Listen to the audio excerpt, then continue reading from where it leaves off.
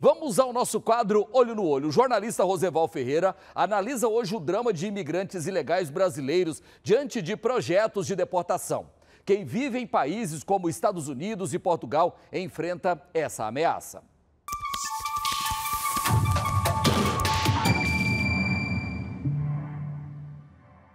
Poucos sabem que a cidade Marreta, que fica a poucos quilômetros de Atlanta, na Geórgia, é uma das maiores colônias de brasileiros na terra do tio Sam, com predominância hein, de goianos e mineiros.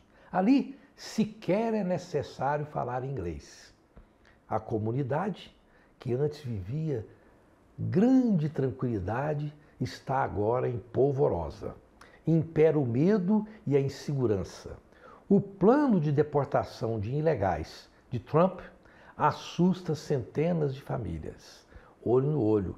Esse processo de xenofobia não é exclusividade dos Estados Unidos, hein? Segundo o depoimento muito bons de goianos que estão sofrendo também em Portugal, França e na outrora ultraliberal Holanda, é um motivo a mais para lutar e progredir em nosso próprio país. Com todos os defeitos, estamos em nossa casa. Isso não tem preço. Ou tem?